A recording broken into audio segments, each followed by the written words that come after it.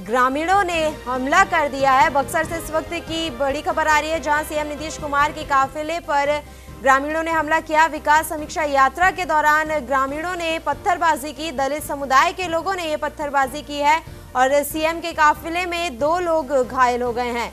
बक्सर के नंदन गाँव की ये घटना बताई जा रही है।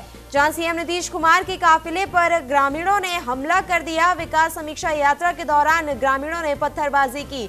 बताया जा रहा है कि दलित समुदाय के लोगों ने ये पत्थरबाजी की और इस काफिले में दो लोग घायल हो गए।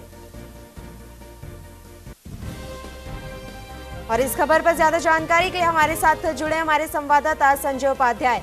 संजय, सीएम के काफिले पर हमले की खबर सामने आ रही है और क्या कुछ जानकारी इस पूरे मामले को लेकर? जी पलवी जी बता दें कि यहाँ पे सीएम के काफिले पे हमला उस वक्त हुआ जब ये यहाँ पे नंदन गाँव में बतक पॉइंट है बतक पॉइंट पे उन्होंने जब वहाँ पे वहाँ का दौरा कर, करने जा रहे थे उसी दौरान दलित महा, महादलित महिलाओं ने उनका विरोध प्रदर्शन कर रही थी।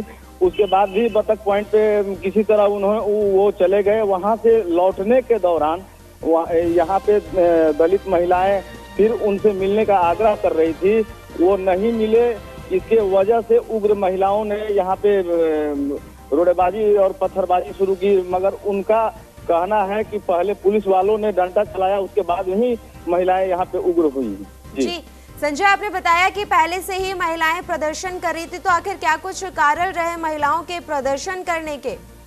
महिलाओं का साफ़ तौर पे कहना था कि यहाँ पे महादलित जो टोला है उसमें कोई धरातल पे काम नहीं हुआ है।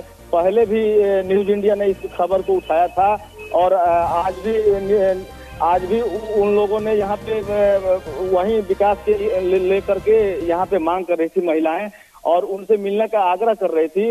नीतीश कुमार मुख्यमंत्री काफ़ी यहाँ पे अगर उनसे नहीं मिले, इसके वजह से उन लोगों का आक्रोश थोड़ा फूट पड़ा और उसमें थोड़ा ज़ोर ज़बरदस्ती हुआ। उसके कारण लोग आक्रोशित हो गए, पत्थरबाजी हुआ, जिसमें कि करीब करीब बारह लोग घायल हुए हैं।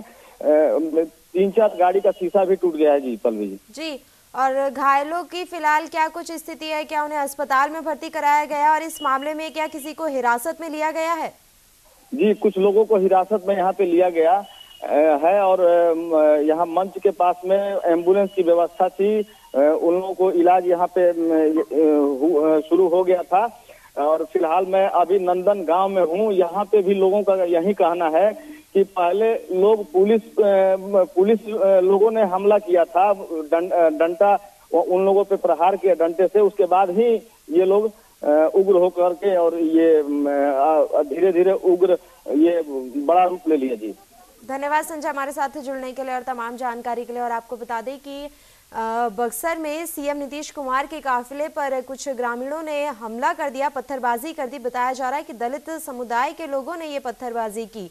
वहीं समुदाय के लोगों का कहना है कि पहले पुलिस की ओर से उन पर लाठी भांजी गई, जिसके बाद ग्रामीणों ने पत्थरबाजी की। वहीं इस पत्थरबाजी में करीब 12 से ज़्यादा लोग घायल हुए हैं, जिन्हें फ़िलहाल इलाज के लिए अस्पताल में भर्ती कराया गया है। वहीं उग्र मचाने वाले कुछ लोगों को भी पुलिस ने हिरासत में लिया है। आप हमारे चैनल को यूट्यूब पर सब्सक्राइब कर सकते हैं न्यूज़ इंडिया निम्स पर।